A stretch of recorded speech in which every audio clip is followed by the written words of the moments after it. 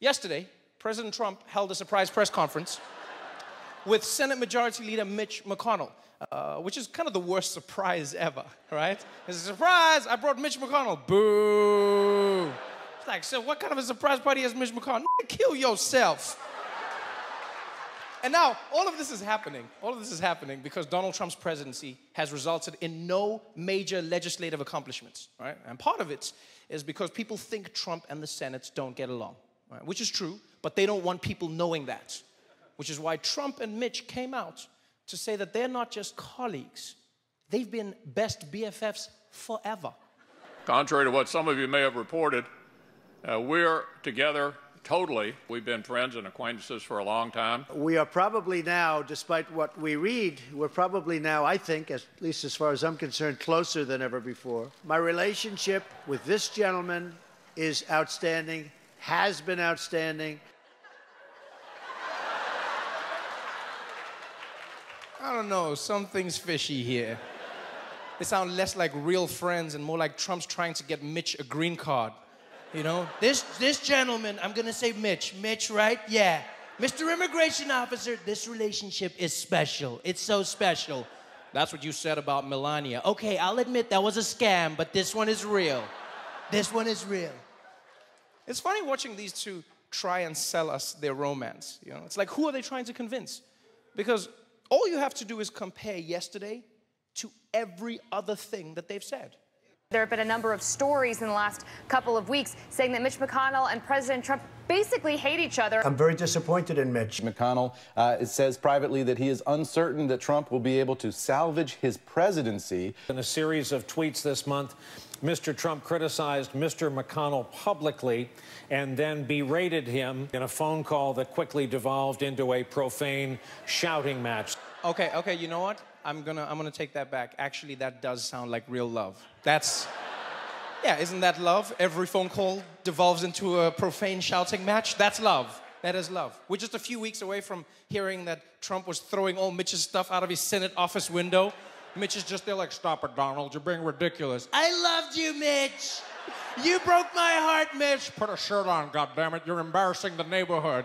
This is me, Mitch. Accept me for my body, Mitch. You gotta accept me. You never loved me, Mitch. Donald, please. Everybody's watching. Come on. Nobody cares, Mitch.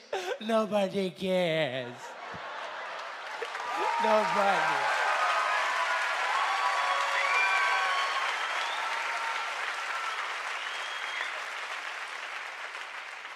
So, so the goal of the press conference uh, was to make everyone forget about all of that stuff, right? Uh, and Trump, he did accomplish that. He did a good job. Uh, he made people forget the same way he usually makes people forget about any issue by creating an entirely new issue, right? When a reporter asked him this question. Why haven't we heard anything from you so far about the soldiers that were killed in Niger and what do you have to say about Uh. I've written them personal letters. Uh, they've been sent or they're going out tonight, but they were written during the weekend. Uh, I will, at some point during the the period of time, call the parents and uh, the families because I have done that traditionally. Okay, you know, I'm, I'm not sure what's worse. The fact that President Trump said nothing after four American soldiers were killed in Niger, or the fact that his first public statement about it was basically, the dog ate my homework.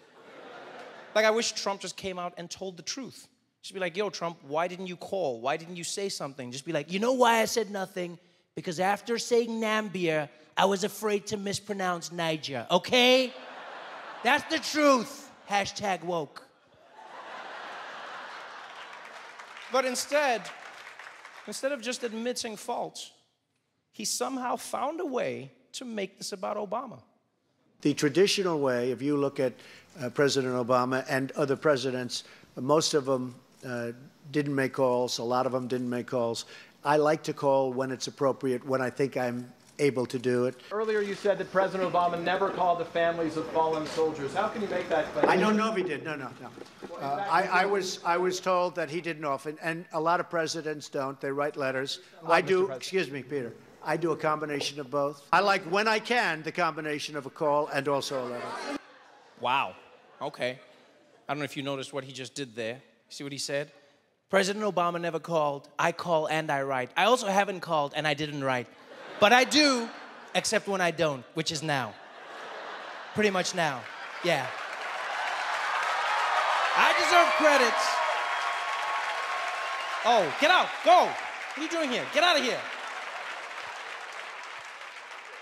Sorry. The locals. I, uh, I feel really bad for Mitch McConnell, man. I'm not gonna lie. Uh, because this day was supposed to be about showing off unity, right? Instead, the Trump train derailed what was supposed to be a simple photo opportunity. And I don't know why Republicans insist on letting Donald Trump speak. They should just stage relationship paparazzi pictures. That's all you need? Yeah, they should do it like, you know, I can see it now, like a, a Trump and McConnell sharing a milkshake. People are like, wow, could this be tax reform? Who knows?